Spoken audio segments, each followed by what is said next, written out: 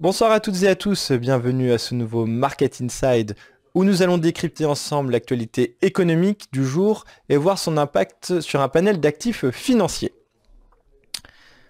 Alors aujourd'hui était une journée très calme hein, et ceci s'explique euh, par l'absence des Américains, des volumes américains, puisque les places euh, américaines étaient fermées. Aujourd'hui il s'agit de Thanksgiving c'est ce qui explique la faiblesse des volumes sur les places, notamment sur les places boursières européennes.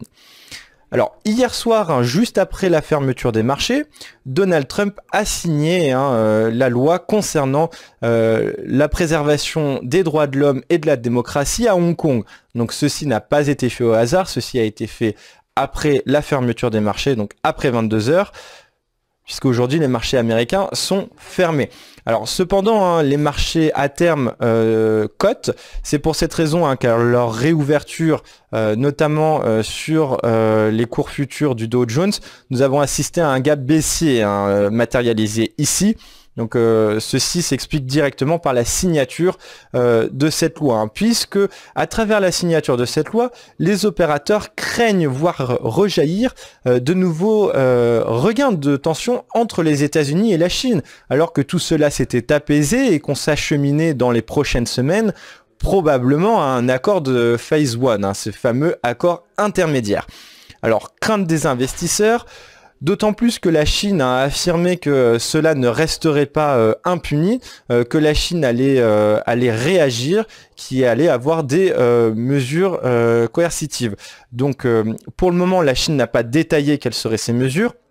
Quand bien même hein, le rédacteur en chef du Global Times, donc le Global Times est un journal chinois donc qui est très proche du milieu du pouvoir à Pékin, donc l'éditeur en chef hein, a signalé que d'après ces sources, euh, il serait question d'interdire aux rédacteurs de la loi, donc c'est-à-dire les sénateurs et les représentants américains, euh, de tout simplement se déplacer, euh, enfin de venir en Chine, à Hong Kong et à Macao. Donc voici quelles seraient les premières mesures qui seraient mises sur la table hein, par Pékin pour réagir face à la signature de cette loi visant à protéger la démocratie et les, et les, et les protestataires à Hong Kong. Alors concernant le marché des actions, même si euh, le marché actions aujourd'hui a été très calme, il convient de noter hein, que le titre Natixis continue hein, de, euh, de, se replier.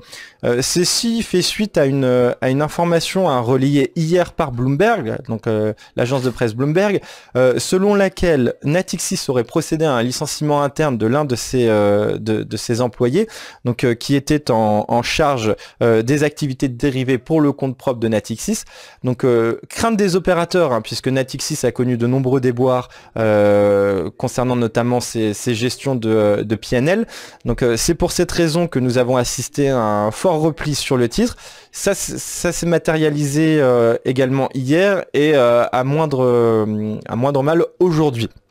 Donc euh, pour rappel, hein, euh, Natixis avait, euh, avait totalement décroché, hein, les cours de Natixis étaient totalement décrochés au mois de mai, lorsque l'un de ses fonds, H2O Asset Management, était totalement illiquide et les investisseurs ne pouvaient pas retirer l'argent qu'ils avaient placé dans ce fonds. Donc c'est ce qui explique cette panique hein, sur le titre Natixis. Euh, concernant le marché américain, donc un titre également qui fait parler de lui, c'est euh, Boeing, puisque Boeing a de nouveau euh, connaît de nouveau des problèmes. Hein. Ceci n'est pas sur son avion le 737, mais cette fois-ci sur le 777. Alors ces problèmes ont été relayés notamment lors d'un test. Euh, l'avion, hein, euh, avant d'être commercialisé et d'être produit, euh, doit passer toute une série de tests. Et là, il s'agissait de tester la flexibilité, enfin la flexion hein, des ailes de l'avion. Donc il y a eu une rupture hein, lorsque ce test a été mené. cependant, ce test a été mené dans des conditions quasi, euh, enfin euh, l'explosion, voilà, l'explosion s'est produite au quasi maximum exigé par euh, l'administration fédérale des transports aériens. donc voilà, c'est à minimiser, mais cependant le titre a, bien reculé hier. cependant, un Boeing se montre très rassurant. Hein. La compagnie a, a, précisé que cela n'aurait aucun impact significatif sur la conception ni sur la production de ces nouveaux 777. Alors concernant le marché du pétrole, hein, même son de cloche que pour euh, les indices euh, boursiers, décrochage hein, suite à la signature de la part du président américain Donald Trump de la loi euh, concernant Hong Kong, hein, concernant la, préservation des droits de l'homme et de la démocratie. cependant, également à noter, hier les stocks de, de, pétrole brut américain qui se sont reconstitués, plus 1,572 millions de barils ont été ajoutés aux stocks déjà existants. donc voici une nouvelle pression baissière sur les coûts du pétrole, d'autant plus hein, euh, qu'il est de moins en moins probable euh, que l'OPEP, hein, donc euh, l'organisation des pays producteurs de pétrole, procède, enfin des pays exportateurs de pétrole, procède à une nouvelle réduction de leur production. Il faut savoir que euh, selon un sondage euh, mené par Bloomberg, moins de 3% des gens interrogés, donc les analystes et les commerçants sur euh, le marché du pétrole, envisagent une nouvelle réduction de la part de l'OPEP. pour rappel, hein, l'OPEP l'année dernière avait, avait s'était engagé à réduire sa production de 1,2 million de barils par jour, ce qui avait été suivi pratiquement par l'ensemble de ses pays membres. Hein. Je pense notamment à l'Arabie Saoudite qui a baissé deux fois plus que ce qu'elle ne s'était engagée à faire, là où en revanche la Russie n'a pas toujours respecté cet engagement au fil de l'année.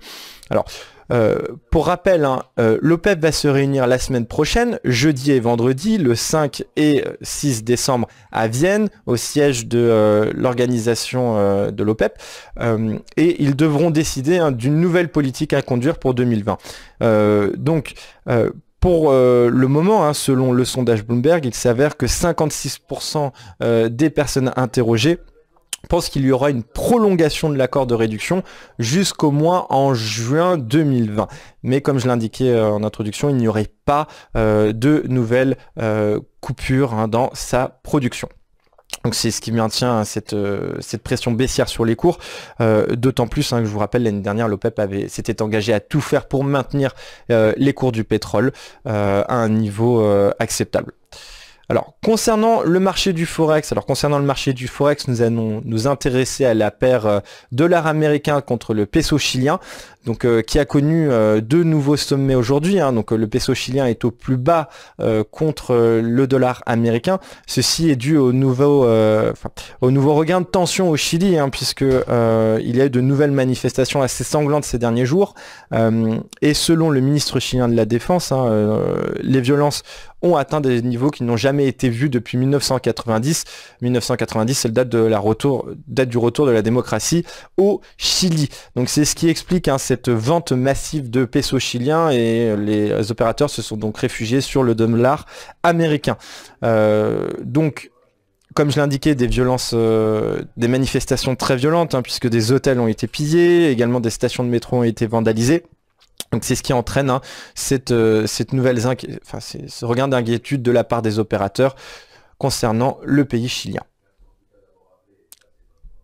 C'est ce qui entraîne euh, le retour des inquiétudes des investisseurs concernant le Chili.